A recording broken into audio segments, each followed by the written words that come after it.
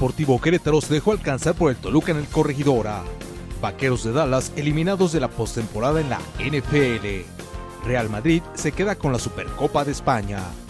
Inició la temporada 2024 de Cards en Querétaro. Universidad Católica inicia mal su pretemporada en Perú.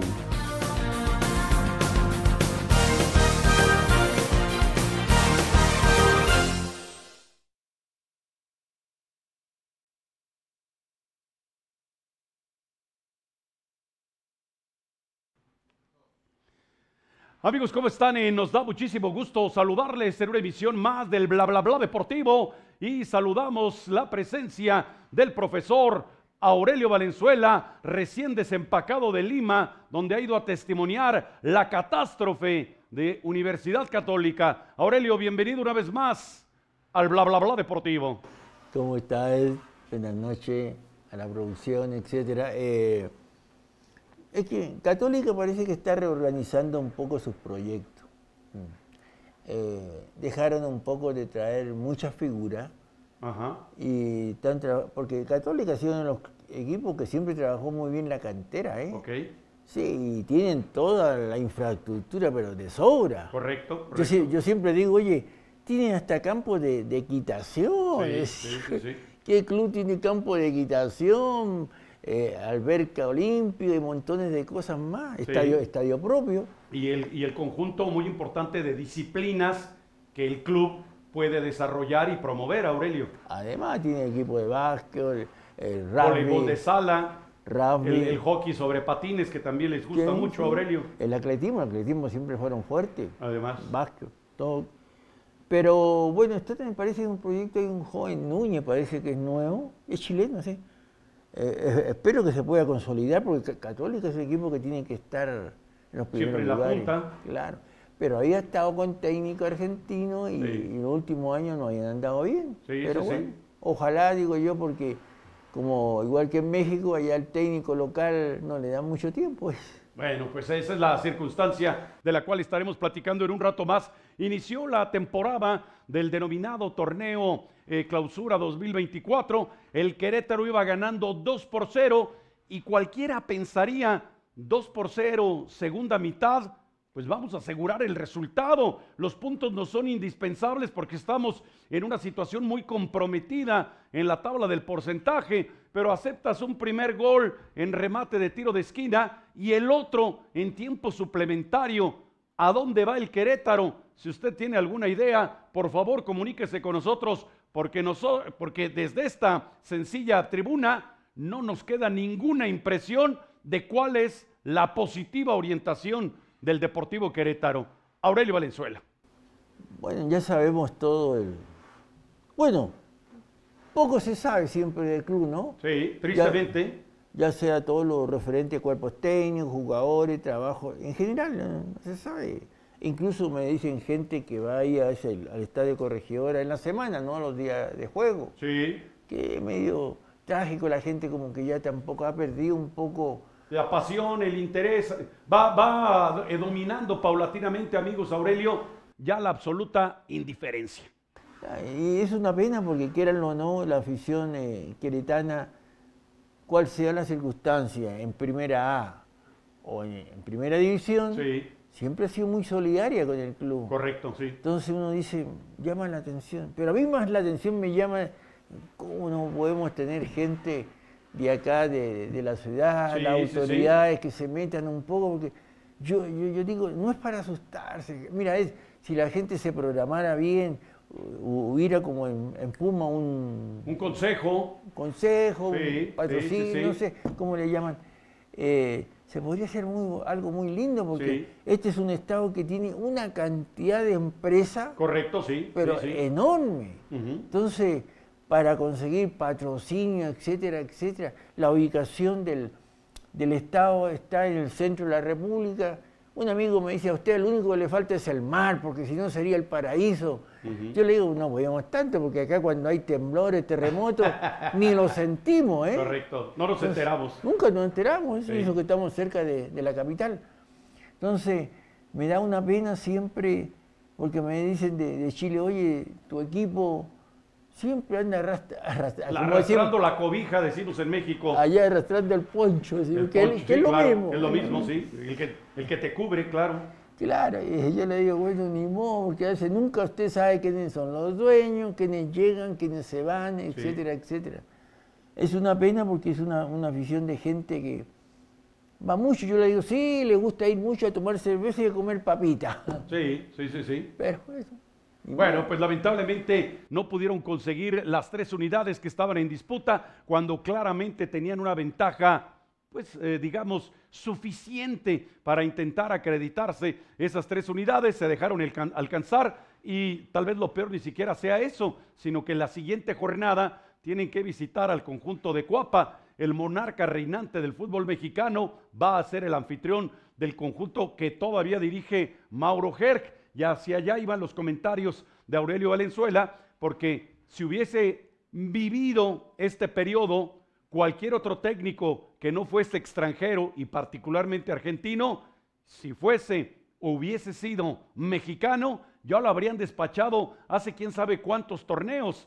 Pero como es argentino y ha trascendido, tómenlo con todas las reservas del caso, pero ha trascendido, como le pagan cada vez que protesta, porque no, el flujo de caja no es el más holgado que podríamos decir, bueno, pues difícilmente van a encontrar otro técnico que en condición, dirían algunos, de aprendiz, aguante las cosas que hay que aguantar cuando asumes el rol de director técnico del Deportivo Querétaro. En fin, lamentablemente eh, se fueron con el empate a dos, a dos goles y digo lamentable porque los aficionados salieron con ese sinsabor. Ya estaban prácticamente festejando el comienzo del torneo regular con una victoria sobre un equipo que, si los medimos en términos de presupuesto, el equipo visitante tendría que contar con aspiraciones claras y sólidas para ir no solamente a la liguilla, sino a la búsqueda del título. Lo tienes contra la pared 2 por 0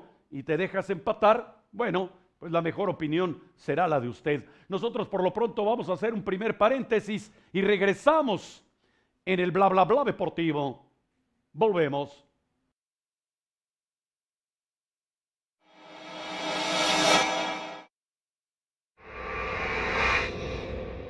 Nada nuevo debajo del sol, los equiperos del Deportivo Querétaro siguen sin aprender a ganar como locales después de que cuentan con una ventaja de hasta dos anotaciones. Para los pilos del argentino Mauro Herc, la campaña del torneo Clausura 2024 no tiene más objetivo que intentar salvarse de la multa económica por no descender, pues su posición en la tabla de cocientes continúa siendo muy comprometida. En el partido disputado en el mundialista de escenario ha quedado la sensación de que una vez más la escuadra queretana tendrá una temporada llena de incertidumbres. Dos goles a dos ha terminado el encuentro correspondiente a la jornada inaugural del Campeonato Clausura 2024 en la División de Honor del Fútbol Mexicano.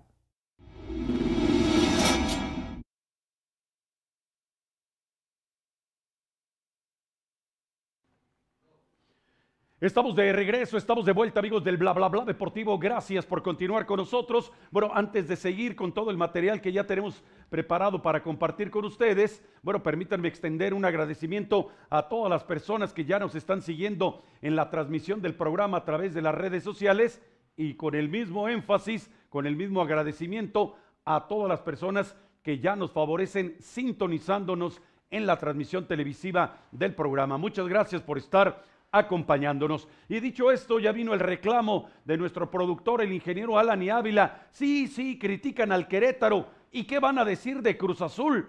Pues qué vamos a decir de Cruz Azul, pues si lo escuchamos allí, ahora, ahora ya dejó de ser el Estadio Azulgrana, otra vez vuelve a ser el Estadio Azul y, y los tertulianos en la televisión, sí, sí, ese siempre fue el Estadio Azul.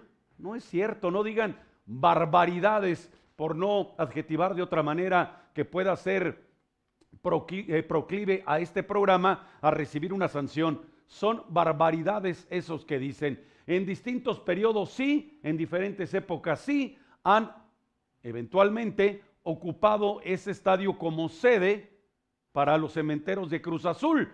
Pero la historia más productiva de Cruz Azul, la historia de los campeonatos, la hicieron en el Estadio Azteca. Vayan, bueno, ya ni siquiera la hemeroteca, porque ya está cerrada, ¿verdad? En este horario las hemerotecas están cerradas. Vayan a internet, ¿En qué estadios Cruz Azul fue campeón? Y rápido lo resuelven. No anden diciendo o inventando cosas que no están registradas en la historia reciente, además, en la historia contemporánea del fútbol mexicano. Pero si hablamos de historias, amigos, Aurelio, con Cruz Azul, la misma historia. Juegan a nada y tu admirado Uriel Antuna, confirmando lo que dijera el gran Claudio Loztanó, ese no juega fútbol, ese juega futbolito. Aurelio Valenzuela. Escuchaba a alguien decir, oye, enséñenle a hacer centro. Por ejemplo, ¿no? Pero bueno, oye, yo me voy a, referir un poco al técnico. Trabajó en Chile, tú sabes que Chile es como la antesala para salir a Para poder llegar a México. El señor Anselmi, ¿verdad? Sí. Ok. Eh, dirigió ahí en, Unión La Calera, un equipo cercano a la capital, que es manejado por argentinos. Así que Curiosamente. Lo tienen ahí, un torneo, y lo largaron. Perdió casi todos los partidos. Anda, pues. Eh, creo que era colega tuyo, ¿eh? No, Aurelio, nosotros somos gente seria periodista. No, no, no, bueno, Aurelio. Bueno. Ya, ya, me quiere cargar a mí todos los muertitos. Ah, dice el productor, es que vienes de azul. No, Aurelio, no, no abuse de la coloratura, ¿eh? Oye, y el problema creado con, con Escobar, yo digo, hay que ser muy cínico. Eh. Cuando tú creas un problema, no esperes que después la otra parte vaya a estar... Eh, tranquila o te aplauda, ¿verdad? Claro, es un seleccionado paraguayo. Sí. Es una figura de Cruz Azul. Es el capitán del equipo. Claro, entonces, si tú lo orillas a estar en la reserva, a jugar en los segundos tiempos, o lo ignoras. Claro. ¿Qué vas a decir? Oiga, entonces usted ya no me quiere, búsquenme equipo y me voy. Sí, pues". entonces, pero esa situación, ¿quién la creó? el técnico. a lo mejor también coludido con el director deportivo. Que ya tiene su historia. Porque necesitamos esa plaza, Aurelio, por favor. Y lo dijo el directivo de Pachuca, ¿no? Nosotros no dijimos nada porque lo echaron de, Pachuca, ¿no? Sí, sí, sí. Está muy claro eso. Sí. Y yo no entiendo cómo Cruz Azul después lo contrata y crea todas estas situaciones. Sí. Y va a Pachuca y les gana como visitante. Así es, con un cuadro plagado de jovencitos y casi todos canteranos de la organización de los Tuzos, Aurelio. Y un joven de David Rodríguez, que es queritano, del trabajo de acá de, Morales, el Chino ah, Morales. el Chino Morales, de Agustín el Chino Morales. Le damos un saludo allá hasta la hermana República de Hércules, Aurelio. Qué bien. Entonces, te reitero, eh, después dio la explicación el técnico este, eh, eh, bueno, yo le dije que lo mejor para él, si se quería ir, etcétera, etcétera. Pero toda esa situación nos orilló a que el jugador paraguayo tomara otro tipo y no hablaba, ¿eh? Sí, sí, Está todavía calladito. tranquilo, sí. Porque el fútbol tú sabes que al final todo se sabe. Sí, correcto. En todo caso, al margen de la, la inversión que hizo Cruz Azul, porque con tiempo llegó jugadores. No, Aurelio, se habla de un monto de entre 20 y 25 millones de dólares de inversión para esta campaña con Cruz Azul, ¿eh? Claro, y el más llamativo es el goleador que tuvo Puma, Fernández, ¿no? el Toro Fernández le, apodan. Yo no sé por qué es muy astado o, no sé exactamente en todo caso, Yo digo, es un jugador, sí, que acá rindió en Puma, etcétera 11 millones de dólares nada más en esa transferencia, Aurelio. 11 millones de dólares por un jugador que pues cumplió, pero ni era el que se echaba el equipo al hombro, ni fue el goleador del torneo, tampoco Aurelio en el campeonato mexicano. Y tampoco no venía de un equipo grande de Argentina, ¿eh? Ah, tampoco. ahora, 11 millones de dólares era para el Estado en Europa, etcétera. Mínimamente. Pero bueno, aquí les gusta regalar el dinero. en todo caso, es eh, yo digo, el karma, la gente que actúa mal, al final... Lo tiene que pagar, Aurelio. Y yo me da una pena, no, no he escuchado hablar al señor eh, Alonso, a Ordiales, que creo que debe ser un asesor ahí, ¿no? Sí, sí, sí, ahí está. y súper asesor, ah, es el súper asesor. Anda con el señor Velázquez. ingeniero Velázquez, el, que manda ahí en la organización. Uno no, no entiende, entonces, mucha gente ya van a empezar a gritar mejor Billy, Billy, es jugar porque...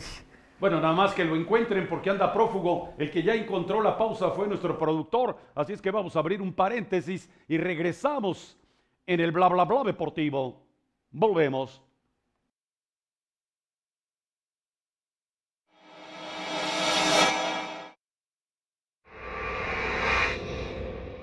Siendo uno de los equipos más populares del fútbol americano de la NFL en nuestro país, los Vaqueros de Dallas habían despertado una enorme expectativa con respecto a su participación en la postemporada. Actuando como locales, los Tejanos recibieron al joven escuadrón de los llamados empacadores de Green Bay, ante los cuales los de la estrella solitaria lucían como favoritos. Sin embargo, ya en el emparrillado, los vaqueros lucieron erráticos y faltos de motivación para buscar la victoria. En consecuencia, cargaron con una dura derrota y la eliminación de la postemporada de la NFL. 48 puntos a 32, ha sido el tanteador definitivo a favor de Green Bay, lo cual representa la mayor cantidad de puntos recibidos por los Tejanos en un partido de postemporada de la NFL en toda la historia de la franquicia.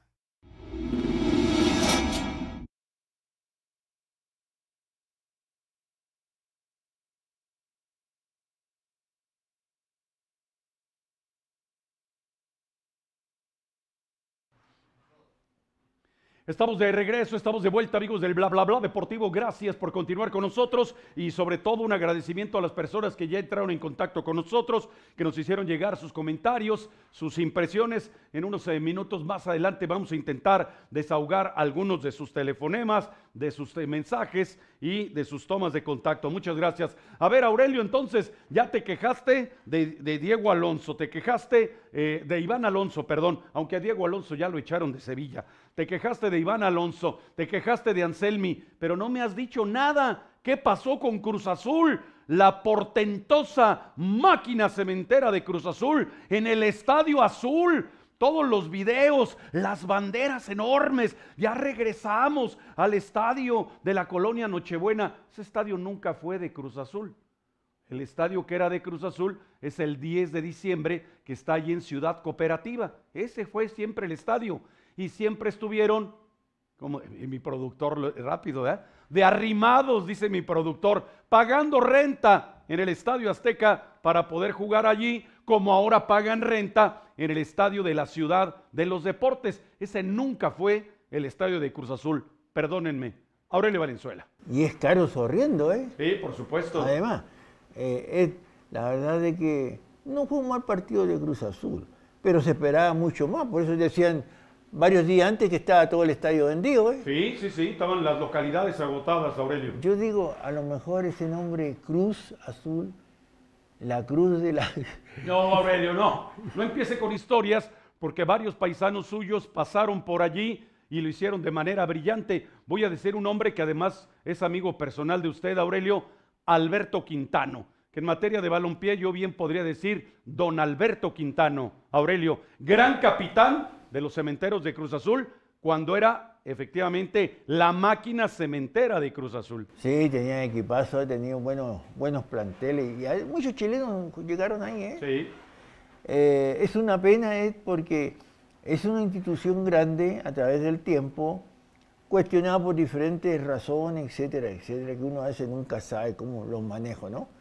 Pero han sido cuestionados y eso trae consigo que no solamente un problema en la parte administrativa, técnica, sino también de los planteles. Y no han tenido malos planteles, pero no, no ha funcionado la cosa. Entonces yo digo, algo debe pasar ahí porque ¿cómo no funcionan? Si han estado casi en los últimos lugares. Trajeron a Ferretti que pensando que a lo mejor Ferretti iba a levantar, tampoco. Fracasó. Y duró menos que un bueno, cumpleaños. Exacto, sí, lo, lo echaron rápidamente, Aurelio. Entonces, yo digo, pienso por el plantel, a lo mejor puede andar un poco mejor, puede andar mejor el plantel. Con tiempo llegaron ahora los jugadores, porque siempre le llegaban tarde los jugadores de Cruz Azul. Pero lo, que me preocupa es el técnico, porque yo hice unos comentarios de Chile me dijeron, no, si ese señor pasó acá y no, nada. De, noche, Aurelio, nada, pasó de noche. De nada, porque acá me, dicen siempre, acá vienen a, hacer como alguna eh, aprendizaje y de acá se lo llenan. Entonces dice, ah, trabajó en Chile, trabajó aquí, lo llena a Ecuador y a México porque dentro de todas las ligas México les paga bien. Sí, los mejores salarios están en, México. Y mira a qué equipos llegan. Sí.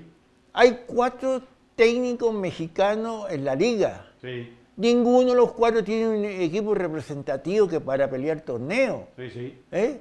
El único que sacó el triunfo fue Fentane en Necaxa. Sí. Herrera en Cholo no pasó nada. Así es. Eh, Carvajal con Puebla, sí. tuvo incluso el empate ahí como Ricardo Carvajal, otro gran jugador en su época, surgido de la organización de Cruz Azul. Manejó bien y hizo que le quitaron al goleador que se lo vendieron a Martínez. Y, el otro es, eh, ah, eh, Mejía. Es un tipo preparado, estuvo eh, estudiando en Europa. Lo, al menos lo han cubierto allá en Ciudad Juárez. Sí, lo han arropado bien. y no le fue fácil a Puma, ¿eh? En casa 1-0, en casa de Puma. Sí, sí, sí. Entonces, espero que mejoren, pero hay cuatro, cuatro mexicanos como hay cuatro en Costa Rica también, pero en todo caso, eh, Fentane eh, es el que tiene más experiencia porque trabajó en, Santos, en Santos, en Puebla también parece que anduvo, no sé si también anduvo en Cholo, tiene experiencia. Eh, pero bueno, yo digo, con esos equipos que tienen menos pedigrí, que tienen menos recursos, les cuesta un poco más, les va a costar porque no es lo mismo irte a jugar con los, grandes que tienen una inversión tremenda y planteles enormes, como América. Fue a, a Jugó con 11 mexicanos. Sí, eh, eh, eh, que fue una de las noticias de la jornada, Aurelio. Ya hablaron toda la semana que era un equipo alternativo. Pero ahí al menos el tipo no tuvo temor, el brasileño. Así Es, no tuvo, aunque pudo haber también hecho mejor las cosas en los cholos. Sí. Pero ir de visita a una cancha que no están acostumbrados, que, que es muy incómoda porque es muy rápida esa cancha. Claro, entonces, y ganarle 2-0 no deja de ser, pero te reitero es este asunto de, los técnicos y de los manejos de los clubes, porque todos hablaban, como su amigo Ceballos, es una falta de respeto lo que hace el América de llevar un equipo alternativo. Cada club hace lo que estima conveniente. No, pero además, ¿dónde está la falta de respeto, Aurelio? Si en la cancha se imponen, no le están faltando el respeto a nadie. O sea, de lo que se trata es de ganar, de competir y, de presentar la mejor alineación, el mejor plantel posible. Y si con eso te alcanza para ganar, no veo dónde está la falta de respeto. Además, es, ahora la, la ciencia te dice, jugadores que terminan las finales, las ganan. Han tenido una presión porque no creas que solamente eh, lo que te hace, lo que tú te desgastes en los partidos. Eso es estar en el primer lugar porque perdieron dos partidos. Ya. ¿Eh? Sí, sí, sí. El primero. jornada uno sí. Y uno de liguilla cuando ya ya 5-0 a San Luis. Sí. Entonces, esa presión la gente que trabaja en la parte de la ciencia del organismo, del deportista, dice, no, esto tienen que descansar una semana más o dos semanas más. Sí, sí. ¿Me entiendes? Y si tienes alternativa, utilízala. Sí. Yo eso lo vi el año 83, 84 y parte del 85 con Cobresal. Ya, ya. Porque a mí me dejaban dirigiendo el primer equipo, yo tenía al cargo toda la escuela, de ahí del campamento, y, y se dieron a ellos de vacaciones más tiempo y me mandaban al PF solamente a trabajar y ya la tercera, cuarta, quinta fecha... Se incorporaban los demás. Claro, además el campamento minero, por el problema de la, de ambiental, el polvillo que salen de las minas, son minas de cobre, entonces le dan más tiempo de, recuperación. Entonces eso, ese manejo yo lo entiendo, muchos clubes lo hacen, pero acá hicieron un drama. Oye, y colocaron jugadores bien jóvenes. Además, además. Y te reitero, 11 mexicanos. Correcto. Vamos a hacer una pausa, regresamos en el bla bla bla deportivo. Volvemos.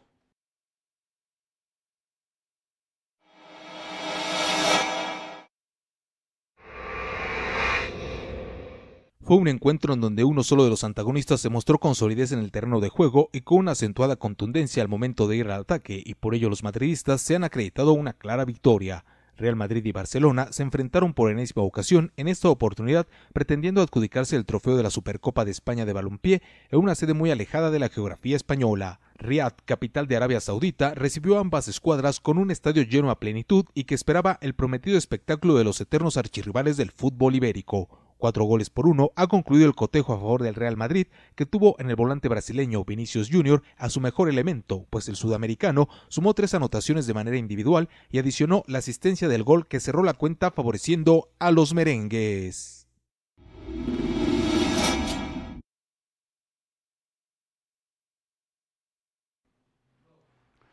Estamos de regreso, estamos de vuelta, amigos del bla bla bla deportivo. Gracias por continuar con nosotros. Bueno, ya entró en contacto Benito González Castañón. Un saludo, mi querido Beni, gracias por entrar en contacto. Carlos Godínez, uno de los ganadores de las 24 horas de Ciudad de México. Carlos eh, Godínez, te enviamos un saludo. Gracias por comunicarte. Lorena Laceri le manda saludos al profesor Aurelio Valenzuela. Dice, eh, Aurelio, ¿cuándo va a firmar Arturo Vidal con Colo Colo? ¿Por qué se hacen tanto del rogar? A ver, Aurelio, explique ese drama. Lo que pasa es de que eh, él está casado ahora con una colombiana de Cali. Ajá. Entonces por eso están ahí. en esa América de. Cali es uno de los equipos ofertantes, digamos. Correcto, entonces a lo mejor están viendo ahí las posibilidades. Se queda ahí, se va a Buenos Aires, a lo mejor por Boca. Y Ajá. tiene la opción también de Colo Colo, porque Colo Colo tiene un plantel muy joven. Muy un- limitados, Aurelio. Y ¿eh? mucha gente salió, pero quieran o no, es eh, la competencia en Chile en, re- en relación a, a un contexto general sudamericano, la competencia ha bajado mucho, Ok. porque salen muchos jugadores jóvenes. Han sacado los empresarios porque no sé cómo les consiguen a los clubes 3 millones de dólares, 2 millones de dólares y los, los equipos los venden, Sí, jugadores sí, de sí. 20, 22 años para afuera. Entonces, los mejorcitos todavía no, se no alcanzan ni a, Ni a madurar. a madurar. Sí, pero- sí, sí. Entonces, la liga en sí, llegan muchos extranjeros, hay muchos extranjeros, seis o siete que tienen, juegan por el plantel, Sí. pero son jugadores ya que están ya o están terminando sus carreras o están recién iniciándose. Entonces, por eso la gente ya cuestiona, mejor utilicen dos como era antes, dos extranjeros o tres extranjeros como Sí, máximo. pero de más calidad que lo que llega ahora en, en- en- en- a raudales, pero que no tienen la calidad de antaño. Eh, perdón, Sí. porque en mi época yo jugué, llegó a Rangue Ángel Labruna, viejo y todo, pero No, no, no, pero un histórico del balompié argentino y del balompié mundial, me atrevo a decir. a O'Higgins llegó Federico Bairo, un titular de la selección argentina. Sí. Jugaba un descenso en O'Higgins, sensacional el tipo. Tú lo veías jugar, uno argentino, eh, Onega fue a La Serena, Así es. Una figura de River. O sea, e- eran jugadores a lo mejor ya un poco viejos, Sí. Pero figuras que Sí, te- sí, sí. hayan sido seleccionados. Yo jugué en Santiago Moni con el Poroto Bayo, también seleccionado, el loco Saporiti, sí. Marcheta, que, que eran- vino acá Roberto Saporiti a dirigir a Necaxa. Sí, pero y también jugó en, en La Laguna como jugador. Sí, sí, sí, en su Roberto. época- en su época de jugador en activo, sí. Entonces, te reitero, llegaron jugadores del fútbol argentino, pero tú conociste a Rodríguez, Sí. seleccionado argentino. Leo Rodríguez, seleccionado argentino con la Universidad de Chile y portando el número 10, también con la selección argentina, Aurelio. Y acá jugó en el América, creo. ¿no? Acá lidió con el América, sí. Entonces- en la época en la que Maradona era el que mandaba en todo el balompié argentino. Además, entonces, bajo ese contexto, la liga chilena ha bajado mucho su nivel de, de competición. Y la gente dice, bueno, si la liga no da para tanto, ya no entramos a los cuadros de, de la Copa Libertadores o Americana, bajemos la cantidad de extranjeros. Ahí Sí. está metido el Cifura que está presionando. Bajar la cantidad de extranjeros y darle tiraje para ir mejorando la salida a jóvenes de, la- de- de las canteras. Bueno, pues ojalá eh, lo consigan en Chile para ver si luego en México, que a los directivos del fútbol les encanta copiar lo extranjero, copian esa iniciativa, porque aquí estamos saturados de petardos, auténticos petardos, y no me hagan hablar y sacar el listado de los petardos. Les voy a dar un solo dato. Ha habido dos torneos, en uno el Querétaro y en otro otro equipo, que han contratado de una campaña a otra más de 20 jugadores extranjeros para atender el torneo siguiente. Ya ustedes adivinan perfectamente los resultados que en lo deportivo, en lo futbolístico, eso ha traído auténticas vergüenzas. Y en las multas. Ah, bueno, imagínense ustedes. Bueno, nos llama también Fernando Vargas, el reportero más enterado de lo que sucede en materia de baloncesto en México y más allá de nuestras fronteras, desde la capital del país. Fer Vargas, una- un abrazo desde esta sencilla tribuna. Ojalá que pronto nos puedas acompañar y, y- y ojalá que nos podamos saludar pronto. Vamos a estar en Ciudad de México en, en- en los días por venir. Jaime Alfonso también se reporta, muchas gracias. Creta- eh, de San Diego, ¿eh? San Diego y Tijuana. Ah, ok, Jaime Alfonso. Sí, Jaime. Ah, mira, bueno, pues un saludo a él. Y ahorita vamos a platicar en detalle de lo que sucede con los cholos que por cierto, eh, por cierto antes de que se me olvide, Aurelio, eh, te manda saludos Carlitos Melo, porque resulta que nuestro presidente de la Federación Mexicana de Cronistas Deportivos ya hizo toda la tramitación de las acreditaciones internacionales, dicen coloquialmente la AIPS, la Asociación Internacional de Prensa Deportiva. Se estima que hay convenios incluso con el Comité Olímpico y con las federaciones deportivas más importantes del mundo, que con esa sola acreditación tú puedes ingresar a cualquier evento deportivo, incluidos los Juegos Panamericanos de Santiago. En México, como no están enterados de eso, no pasa nada. Pero viene a colación lo de Carlos Melo, porque es buen amigo de Aurelio Valenzuela, también tenemos el gusto de, conocerle, viaja muchísimo y él con la acreditación de AIPS va a todos los eventos mundiales, mi querido Aurelio. Va a China, Japón, siempre lo invitan. Incluso hace invitaciones para equipos jóvenes de fútbol que vayan a jugar. Carlitos Melo es un periodista de Televisa más de veintitantos años. ¿eh? Correcto, sí. Aunque es de Tierra Caliente, allá de, Torreón, fanático de, del Santo, yo le digo pero en todo caso es un buen amigo y es un muy buen periodista deportivo. Correcto, le mandamos saludos porque ahora que nos confirmaron los que terminaron acreditados.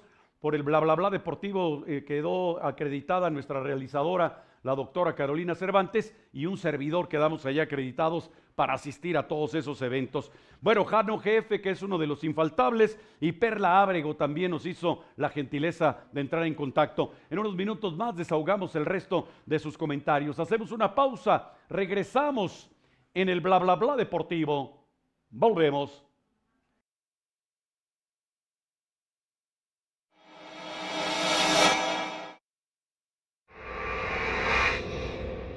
En las atractivas instalaciones del Cartódromo Querétaro se llevó a cabo la ronda de apertura de la temporada 2024 del Campeonato Estatal Fórmula Kart, misma que contó con una nutrida participación en todas las categorías. Ha llamado poderosamente la atención el concurso de las categorías para los pilotos debutantes, pues la gran mayoría de ellos han exhibido grandes cualidades para el kartismo de competencia. Del mismo modo, los competidores de las categorías más rápidas, identificadas como KZ2 y KZ Master, brindaron una vibrante demostración que mantuvo el vivo interés de todos los aficionados en el graderío. Arturo Becerril, Teo Carvajal, Jafet Rivera, Juan Pablo Cermeño y Luciano Ramiro son los nombres de algunos de los pilotos que se han destacado en esta primera fecha del calendario puntuable del 2024, temporada que estará integrada por seis citas a lo largo de todo el año y en distintos trazados del Cartódromo de Querétaro.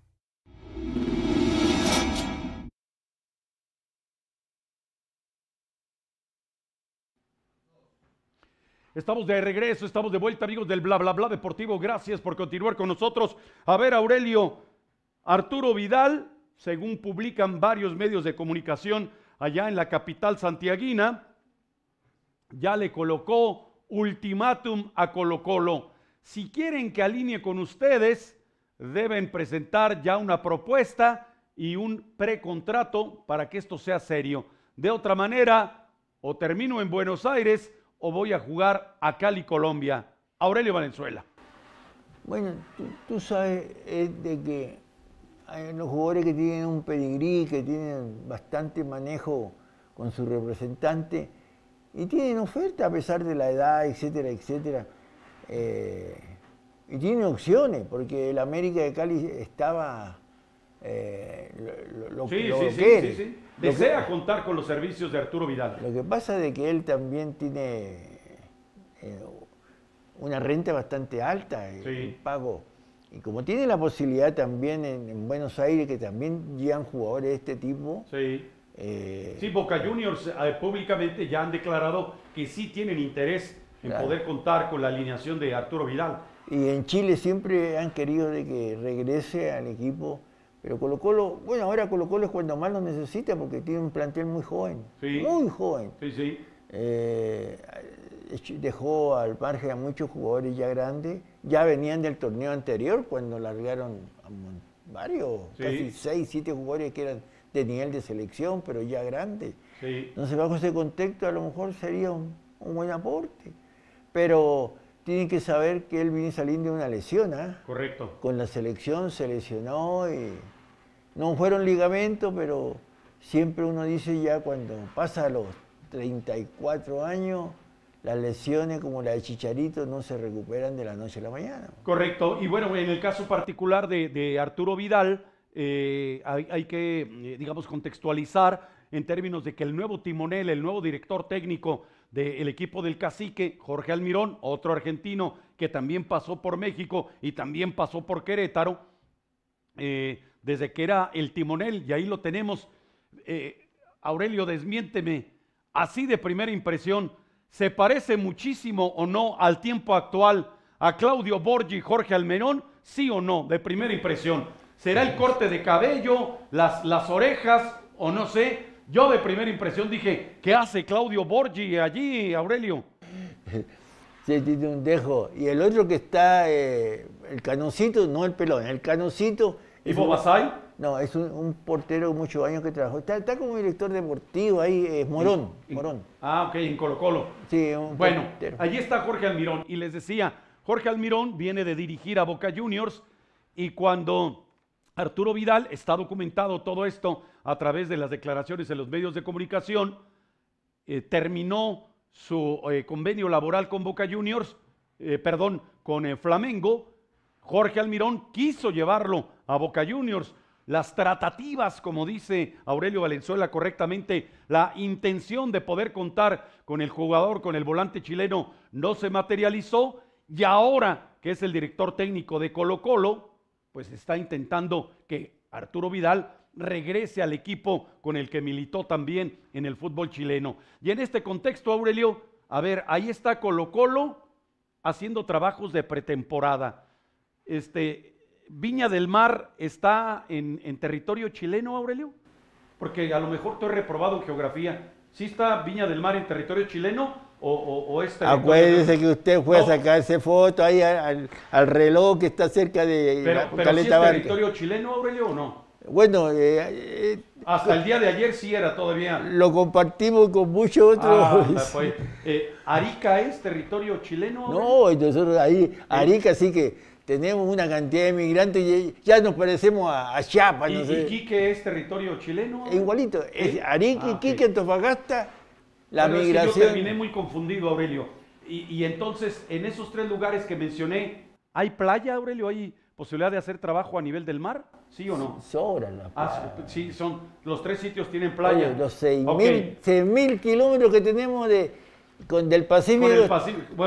Entonces ahora explíqueme, Aurelio, ¿qué rayos tiene que hacer Colo Colo trabajando en Uruguay la pretemporada? Ilústreme, Aurelio, porque allá en, el sur del continente son unos genios y acá en, en el norte del continente americano nos enteramos como 50 años después de esos descubrimientos. A ver, platíqueme, ¿qué tiene que hacer la pretemporada de preparación física en Uruguay el plantel de Colo Colo, Aurelio. Hay cosas que no se entiende, como esto trae a colación de año atrás que comentábamos con los gallos, que parten también a Cancún a pretemporada.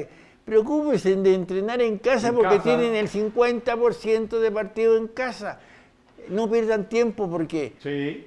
oye, no es que sea, porque siempre te dicen, oiga, usted fue jugador, porque por lo mismo digo, que vaya a ser pretemporada, en las tardes eh, muchos se arrancan del hotel, entonces no me vengan a, decir que uno está, no, eh, es problema de, vestidor, de secreto confidencial. Hay, códigos, Aurelio, hay códigos. Oye, eh, eso no lo entendemos. Este, Colo Colo tiene su estadio, sus canchas de entrenamiento su estadio de competición. Sí. Si quieren salir. Tienen las canchas de maicillo, dicen ustedes, Aurelio. Nosotros acá le decimos tepetate a, esa, ese material. Sí, porque cuando llueve mucho, porque allá en invierno y, otoño llueve, entonces te tienes que entrenar ahí, si no la cancha de pastos la vas a romper. Correcto. Eh, en todo caso es siempre a mí me llamaba la atención, es un gastadero de dinero, Así es. porque uno entrena donde normalmente tienes. Así es.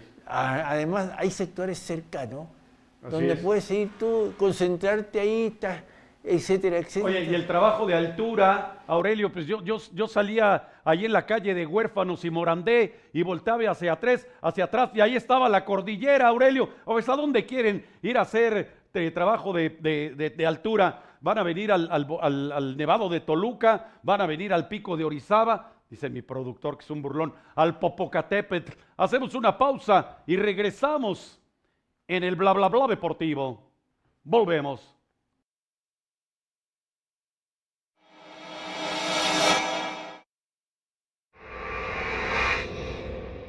En pleno periodo de pretemporada, los conjuntos que toman parte en el campeonato de liga en el balompié chileno se encuentran preparándose en distintos países y ciudades de cara al comienzo del torneo regular. Colo Colo se ha instalado en Uruguay para llevar a cabo parte de los trabajos de preparación física, en tanto que Universidad Católica se trasladó a Perú para efectuar varios partidos de carácter amistoso. Lamentablemente para los llamados cruzados, la aventura en territorio inca no ha comenzado de la forma más esperanzadora posible, pues al enfrentar a la oncena de Sporting Cristal fueron exhibidos.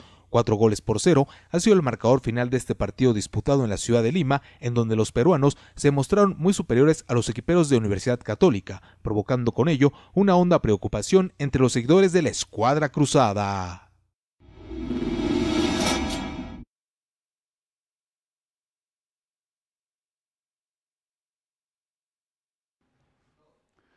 Estamos de regreso, estamos de vuelta amigos del bla bla bla deportivo. Gracias por continuar con nosotros. Le mandamos un saludo a mi querido René Valenzuela, recién desempacado de Torreón, Coahuila, que dice que fue a supervisar allá el trabajo del Santos de Torreón, que porque han estado muy alicaídos los equipos del señor Iraragorri, que ahora está muy preocupado por sus equipos allá en España y no tanto por sus equipos acá en México. Un saludo a eh, don René Valenzuela, un saludo desde aquí. Y bueno, Aurelio, yo sé que no es santo de, de tu devoción, como decimos en México, no es de tus jugadores predilectos, para decirlo coloquialmente, pero sucede que Santiago Jiménez es el líder de la tabla de anotadores en el fútbol de los Países Bajos.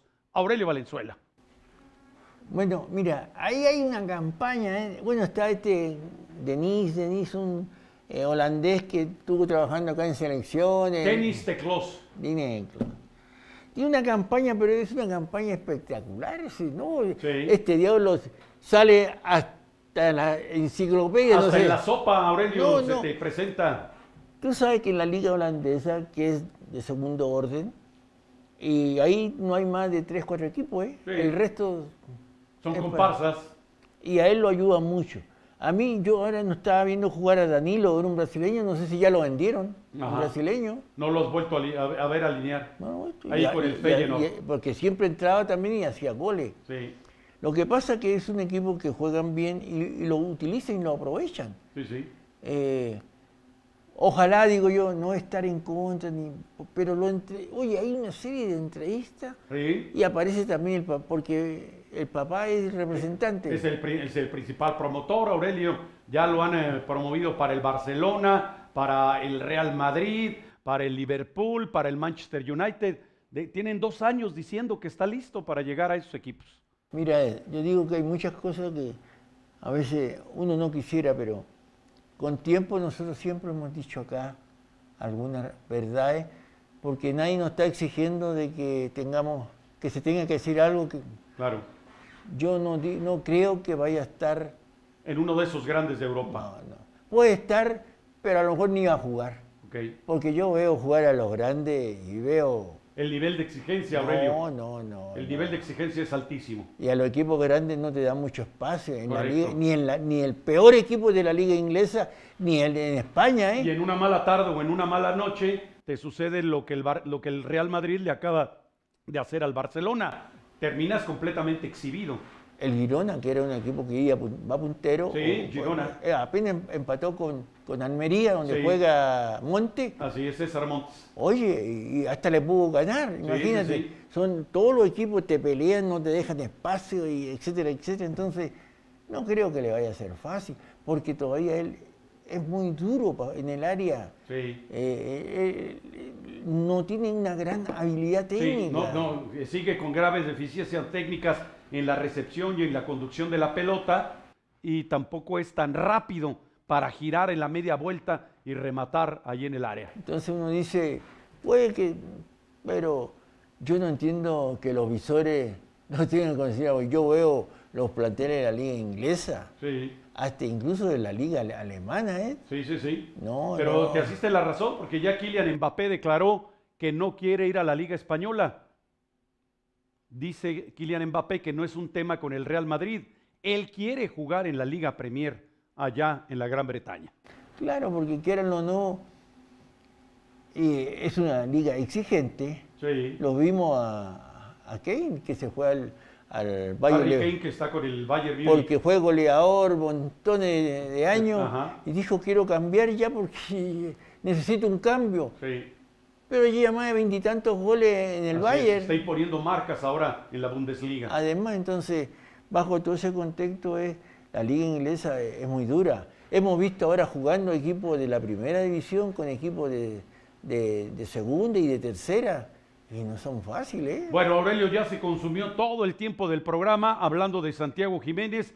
Ya no vamos a poder presentarles la estadística. Vamos a decir simplemente, Aurelio, cómo le va a ir al Querétaro en la siguiente jornada. Visitan al América, Aurelio Valenzuela. Ojalá el América le ponga el equipo este como el que Le ponga a los 11 mexicanos, ¿no? Sería interesante. Claro que eran los dos, porque es una, motiva jugar a, a la América, sea quien esté al frente. Sí, claro. Y puede ser una opción que, que el técnico maneje mejor la situación, porque yo he visto la gente que escribe, Sí. no, ¿qué no dice? Porque es uno de los técnicos que más tiempo lleva dirigiendo en primera división, ¿eh? Así es. Y con pésimos resultados, aunque él dice que, que lo viene haciendo extraordinario.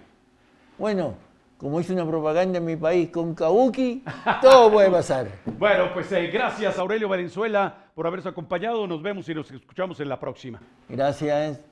Bueno, sobre todo gracias a ustedes por habernos acompañado. Se despide de ustedes Ed Martínez, quien les espera el día de mañana en una emisión más del Bla Bla Bla Deportivo. Hasta entonces.